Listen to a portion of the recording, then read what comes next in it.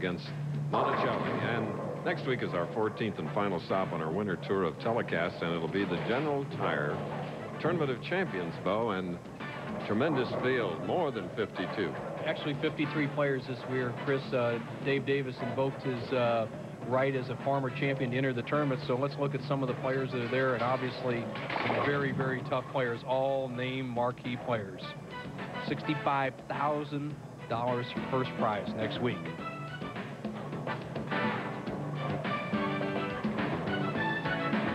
And Jess Stayrook is on the bubble. In other words, if uh, Mike Edwards should win, he's the tournament leader, then Stayrook would be out of that field and Edwards in.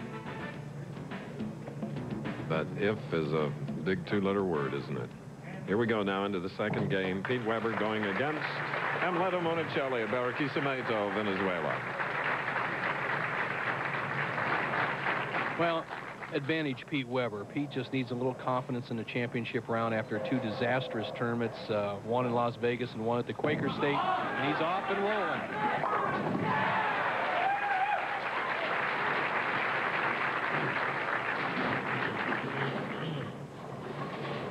Monacelli, I believe, is the toughest player among this field of five when he gets lined up. He can hold the pair, as we call it, for longer than any of these players. So let's see how he gets going in the early three frames. Oh,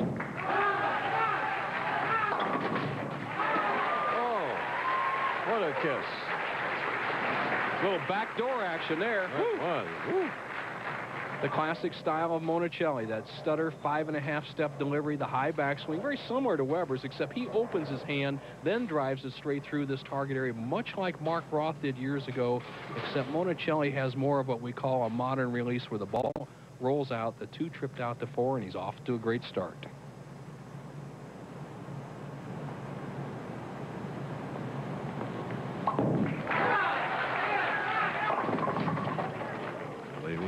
two sleeper eight on the left lane and let him on a Monacelli.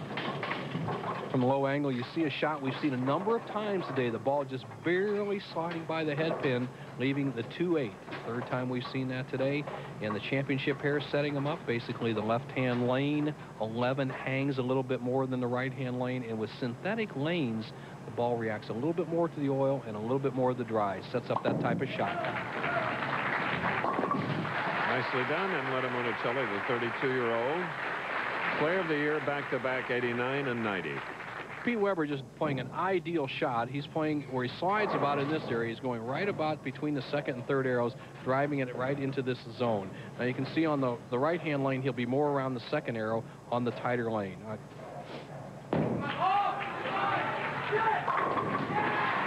Weber now with that double.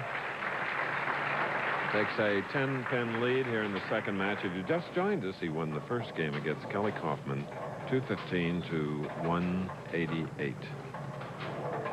Now, we saw Weber just inside the third arrow on the right-hand lane. Now, as he comes up on the left-hand lane, he has a slight edge in the match. He's relaxed from a match win over Kelly Coffman. Plus, he's uh, made the adjustment on this lane. He'll either go with a little less speed, a little bit more turn, and a little more angle outside.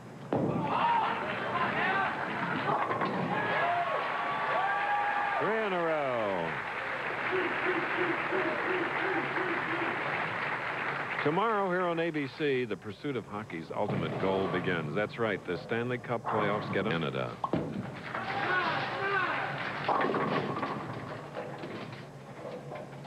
A two.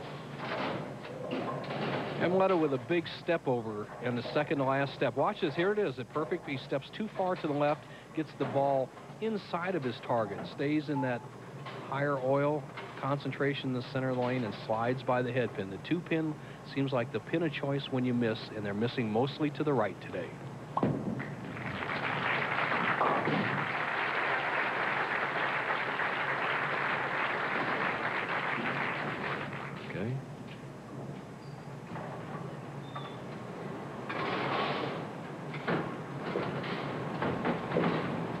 Monacelli, he's playing an angle pretty deep on the right-hand lane, right around the third arrow. On the left-hand lane, I believe he's going to try to make a move a little bit more between the second and third arrows or reduce his speed. That's either one will work on the synthetic lanes. Let's see what happens. He needs to hit this lane to get back in contention.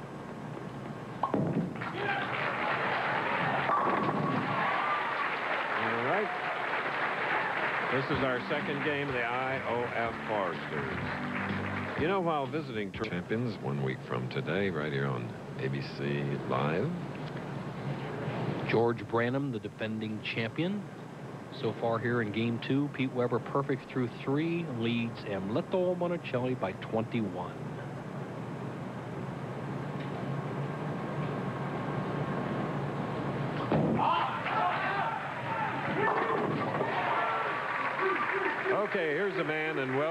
Ontario, made 218 ringers out of a possible 236, Walter A. Williams, Jr.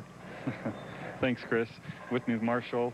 Marshall, you've been a hell of a bowler all these years, and uh, now you're getting ready to go out there and make a TV appearance. Uh, how's it going to go? Well, I'm feeling very confident, Walter. You know, it's been a long time, and uh, it was such a thrill to make the top five. Uh, I feel real loose. I watched you last night. You look like the old Marshall. He's going to be tough. Thanks.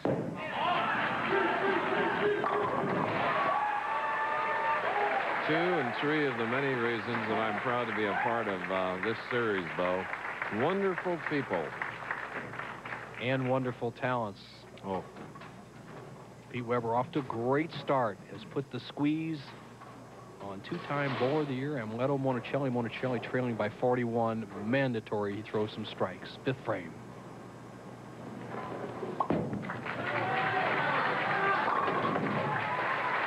Right, that's a double and very important for Amleto Monacelli, whose wife, Teresa, and sister, Angela, are building a home for Teresa and Amleto. Teresa, the architect, Angela, the engineer. Be done in about a month. Supposed to be beautiful.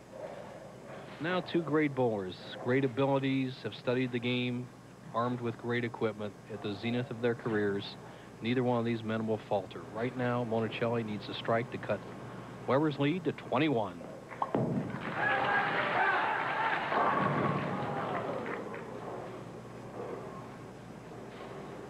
Seriously sensitive to the dry. That's the way the players will call it. You see the shot of Amleto Monacelli. He's moved farther out here on the left-hand lane. You see him crossing closer to the second arrow, gets it out to the dry part of the lane, which is approximately 41 feet down the surface from the foul line.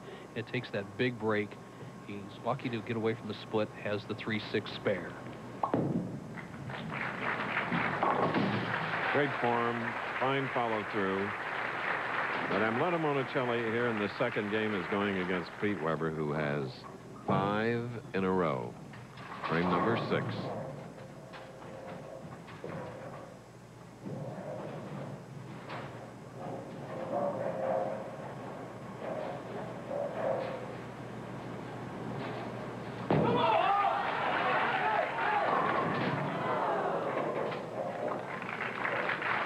The string ends at five.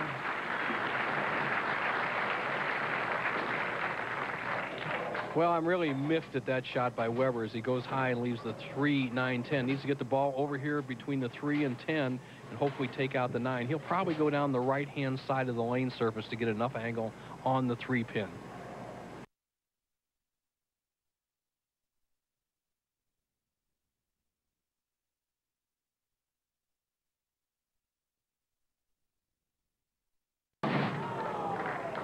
Well, let's see what happens now, Chris. Mm -hmm. uh, mm-hmm. Weber is finally throwing a ball that is out of character, and that's been his kind of his uh, pro forma this year. He's had the games where he had him well in hand as he had Monacelli on the ropes, and now he's let him off the ropes.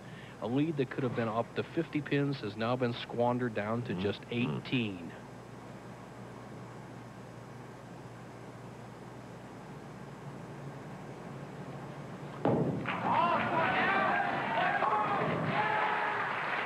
Good rebound. In our second game, beyond the halfway point. Be more in a little while.